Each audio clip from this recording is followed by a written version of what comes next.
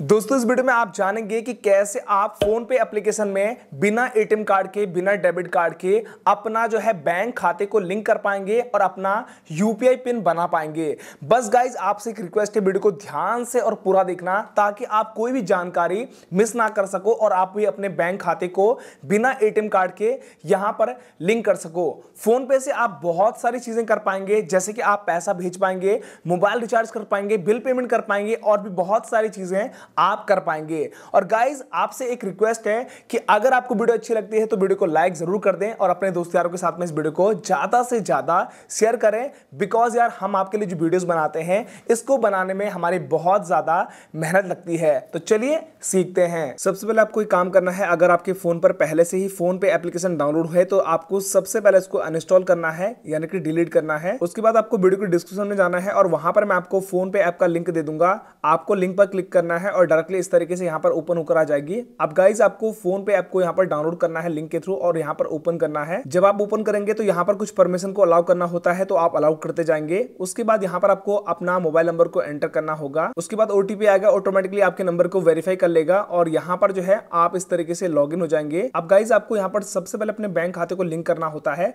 तो सामने आपको नज़र आएगा एड बैंक अकाउंट या फिर आप जो है अपनी प्रोफ़ाइल के ऊपर यहाँ पर क्लिक करेंगे। अब आपको यहाँ पर दिखेगा एड बैंक अकाउंट का एक ऑप्शन आपको इसके ऊपर क्लिक करना है। अब यहाँ पर आपके बहुत सारे बैंक की लिस्ट आ जाएगी और जिस भी बैंक में आपका बैंक खाता है, आप डायरेक्टली अपने बैंक को सिलेक्ट कर पाएँगे। चाहे तो आप यहाँ से सर्च भी कर पाएँगे।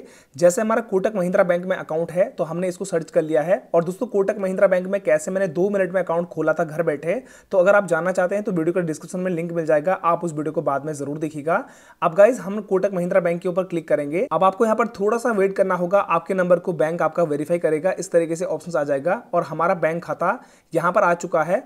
अब दोस्तों, यहाँ पर इस तरीके से मुझे दिखा रहा है कि आपका बैंक खाता यहाँ पर ऐड हो चुका है, क्योंकि मैंने पहले भी इस बैंक खाते को अपने यूपीआई ऐप के साथ लिंक किया था, इसलिए यहाँ पर डायरेक्टली दिखा रहा है कि आपका बैंक खाता ऐड हो चुका है। अगर आप पहली बार अपने बैंक खाते को यहाँ पर लिंक कर रहे हैं तो आपको यहाँ पर रीसेट पिन का एक ऑप्शन नज़र आएगा। आप इसके ऊपर क्लिक करेंगे। क्लिक करने के बाद गाइज़ आपके सामने यहाँ पर इस तरीके से ऑप्शन आएगा। सेट यूपीआई पिन यूजिंग आप अपना आधार नंबर के थ्रू अपने यूपीआई पिन बना सकते हैं और दूसरा ऑप्शन है डेबिट कार्ड एटीएम कार्ड के थ्रू तो यहाँ पर जैसे मैंने आपको बताया था कि आप अपने आधार कार्ड से अपना यूपीआई पिन बना सकते हैं बैंक खाते को लिंक कर पाएँगे। और गाइज़ एक बात ध्यान रखना बहुत ज़रूरी है कि आपका मोबाइल नंबर यहाँ पर सेम होना चाहिए, आधार कार्ड के साथ में भी। और आपके बैंक अकाउंट के साथ में भी। तो चलिए यहाँ पर हमारा सेम है, हम प्रोसीड करेंगे। अब आपको यहाँ पर थोड़ा सा वेट करना होगा। अब आपको अपना आधार नंबर वेरीफाई करना होगा। तो इसके लिए आपको अपने आधार कार्ड के शुरुआती के छह नंबर जो होते हैं सिक्स डिजिट उसको आपको यहाँ पर एंटर करना है। एंटर करने के बाद आप यहाँ पर प्रोसीड करेंगे। अब आपके आधार कार्ड के साथ में जो भी मोबाइल नंबर लिंक है, उस पर एक ओटीपी आएगा वन टाइम पासवर्ड उस ओटीपी को गाइज़ आप यहाँ पर जो है एंटर कर लेंगे। हमारे पास ओटीपी आ चुका है, हमने फिलअप कर लिया है। उसके बाद आप यहाँ पर इसको डन करेंगे। अब यहाँ पर बताया जा रहा है कि आपके बैंक के थ्रू आपके नंबर पर एक ओटीपी भेजा गया है one time password automatically verify हो जाएगा। अगर वेरीफाई नहीं होता है तो आपको यहाँ पर जो है ओटीपी रिसीव हो जाएगा आपके बैंक के थ्रू आप उसको फिलअप कर देना। उसके बाद यहाँ से आप ओके करना। और गाइज़ अब आपको यहाँ पर अपना छह नंबर का यूपीआई पिन क्रिएट करना है।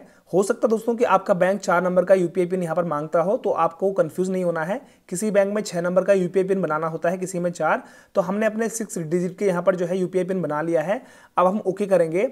दोबारा से वही पिन हम दोबारा से एंटर कर लेंगे और यहाँ पर आपको ओके करना होगा। अभी आप देख पाएँगे यहाँ पर दिखा रहा है यूपीआई पिन सक्सेसफुली सेट हो चुका है। चलिए हम डन कर देते हैं। हमारा बैंक अकाउंट यहाँ पर लिंक हो चुका है। चलिए मैं आपको बैलेंस चेक करके दिखा देता हूँ। सबसे ऊपर आपको प्रोफ़ाइल का एक आइकन नज़र आएगा। इसके ऊपर क्लिक करेंगे। अब आपको यहाँ पर ऑप्शन दिखाई देगा कि पेमेंट मेथड के नीचे आपको यहाँ पर जो है, जितने भी बैंक खाते आपके लिंक है, वो आपको नज़र आएँगे। अगर आप चाहे तो एक से ज़्यादा बैंक खाते भी यहाँ पर लिंक कर पाएँगे। इसके ऊपर क्लिक करेंगे। बैलेंस चेक करने के लिए यहाँ पर आपको चेक बैलेंस का एक ऑप्शन दिखाई देगा तो आप क्लिक करेंगे। जो भी आपका यूपीआई पिन है, उसको आप यहाँ पर एंटर कर लेंगे। ओके करेंगे। अभी हमारे बैंक खाते में जितना भी बैलेंस रहेगा, वो आपको इस तरीके से यहाँ पर नज़र आ जाएगा। यहाँ पर दोस्तों, आपको एक बात ध्यान रखना बहुत ज़्यादा ज़रूरी है कि अगर आपके आधार नंबर के थ्रू जो है बैंक अकाउंट लिंक करने का ऑप्शन नहीं आता है तो आपको कुछ टाइम वेट करना होगा। क्योंकि दोस्तों धीरे धीरे जो बैंक है, इस फीचर को अपने जो है बैंक के साथ में लिंक कर रहे हैं तो हो सकता है कि आपके बैंक ने अभी तक ऐड ना किया हो और हो सकता है फ्यूचर में जल्दी से अपडेट आ जाए तो आपको बिल्कुल भी कंफ्यूज नहीं होना है। जब भी यहाँ पर अपडेट आएगा तो आपको इस तरीके से यहाँ पर नज़र आ जाएगा। इस तरीके से आप अपने आधार नंबर से अपने बैंक खाते को लिंक कर पाएँगे और अपना यूपीआई पिन बना पाएँगे।